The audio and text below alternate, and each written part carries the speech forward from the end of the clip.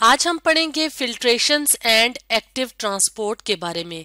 तो अगर हम बात करें फिल्ट्रेशन और एक्टिव ट्रांसपोर्ट की तो ये मूवमेंट ऑफ़ मॉलिक्यूल्स के प्रोसेसेस हैं। तो मॉलिक्यूल्स की मूवमेंट के लिए और भी प्रोसेसेस होते हैं, जिनको हम अपनी लास्ट वीडियोस में डिस्कस कर चुके हैं।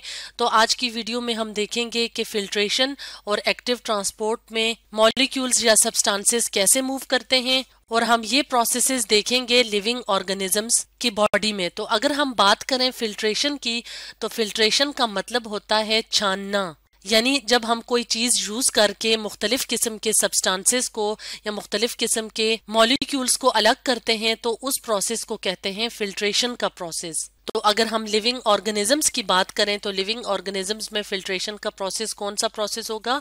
जिसमें के वाटर और सल्यूट मॉलिक्यूल्स की मूवमेंट होगी, और ये मूवमेंट कहाँ होगी? अक्रॉस द सेल मेम्ब्रेन यानी सेल मेम्ब्रेन के अंदर और बाहर जब वाटर और सोलूट मॉलिक्यूल्स की मूवमेंट होगी तो उस प्रोसेस को फिल्ट्रेशन का प्रोसेस कहेंगे। सोलूट मॉलिक्यूल कौन से मॉलिक्यूल्स होते हैं?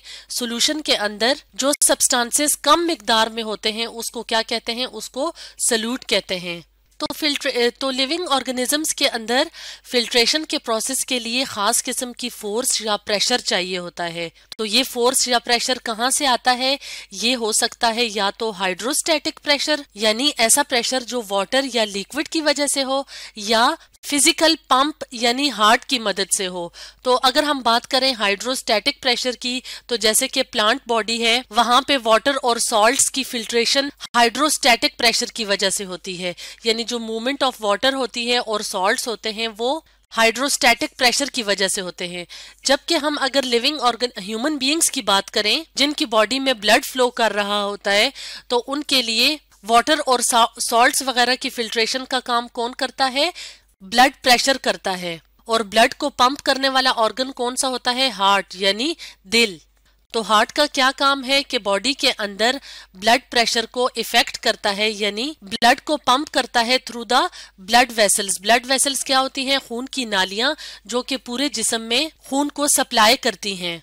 जैसे कि अगर हम यहाँ पे इस डायाग्राम में देखें तो यहाँ पे हमें क्या नज़र आ रहा है?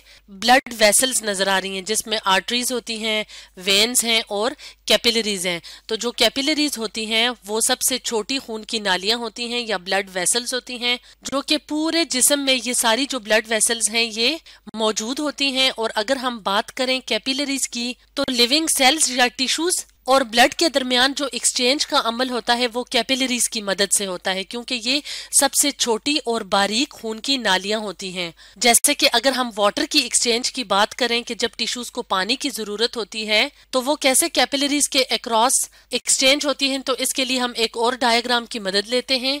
तो अगर हम इस डायाग्राम में देखें तो यहाँ पे हमें ब्लड वेसल्स नज़र आ रही हैं। ये बड़ी वाली खून की नालियाँ हैं और ये कैपिलरी दिखाई गई है। तो खून के अंदर वाटर के साथ साथ मुख्तलिफ़ किस्म के मॉलिक्यूल्स शामिल होते हैं, जैसे कि ऑक्सीजन है ग्लूकोज है कार्बन डाइऑक्साइड है वेस्ट प्रोडक्ट्स हैं। तो जो फिल्ट्रेशन का अमल होता है, यानी जो मॉलिक्यूल्स की सेपरेशन का अमल होता है, वो कैपिलरीज में होता है। ये क्या है? ये कैपिलरी है और इसके इर्द गिर्द जो सेल्स होंगे या टिश्यूज होंगे, उनके साथ इन मॉलिक्यूल्स का एक्सचेंज होगा फिल्ट्रेशन की मदद से। तो लिविंग ऑर्गेनिजम्स जिनके अंदर, यानी जिनकी बॉडी में ब्लड होता है तो ब्लड प्रेशर की मदद से फिल्ट्रेशन का अमल होता है।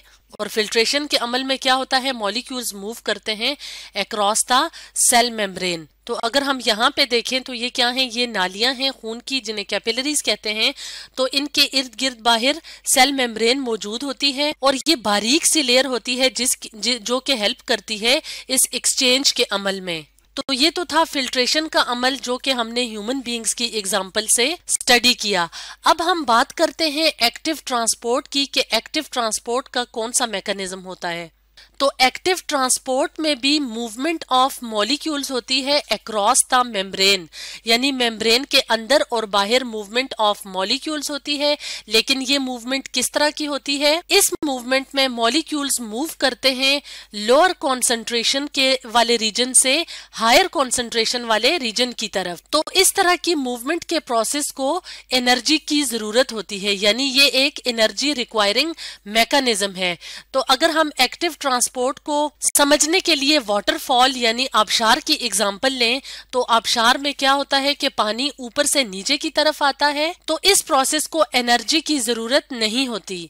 जैसे कि अगर हम यहाँ पे देखें तो यहाँ पे हमें वाटरफॉल नज़र आ रही है।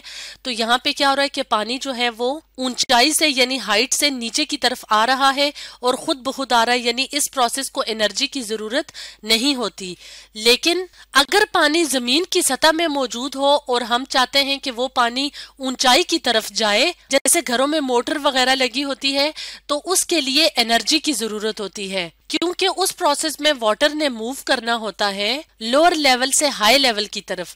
तो यही एग्जांपल एक्टिव ट्रांसपोर्ट की है कि एक्टिव ट्रांसपोर्ट पे क्योंकि मॉलिक्यूल्स ने मूव करना होता है लोअर कॉन्सेंट्रेशन से हायर कॉन्सेंट्रेशन की तरफ़ तो इसलिए इस प्रोसेस को एनर्जी की ज़रूरत होती है और वो एनर्जी कहाँ से आती है? वो एनर्जी आती है सेल से और किस फॉर्म में आती है वो एनर्जी एटीपी की फॉर्म में, जिसे एडिनोसिन ट्राइफॉस्फेट भी कहा जाता है। फॉर एग्ज़ाम्पल अगर हम ह्यूमन बींग्स में सोडियम पोटाशियम पंप की बात करें तो सोडियम पोटाशियम पंप बॉडी के मुख्तलिफ़ किस्म के फ़ंक्शंस के लिए, जैसे किडनी फ़ंक्शन या हार्ट फ़ंक्शन को रेगुलेट करने के लिए या मेंटेन रखने के लिए बहुत ज़रूरी होता है। तो अगर हम यहाँ पे देखें तो ये क्या है? ये सेल की मेम्ब्रेन है, जिसमें के लिपिड की बाई लेयर है, यानी डबल लेयर ऑफ़ लिपिड है, और इसके अलावा ये कौन से मॉलिक्यूल्स हैं? ये प्रोटीन के मॉलिक्यूल्स हैं, जो कि सेल मेम्ब्रेन का पार्ट हैं। तो सेल के अंदर और बाहर सोडियम पोटाशियम की एक खास मकदार का होना ज़रूरी है।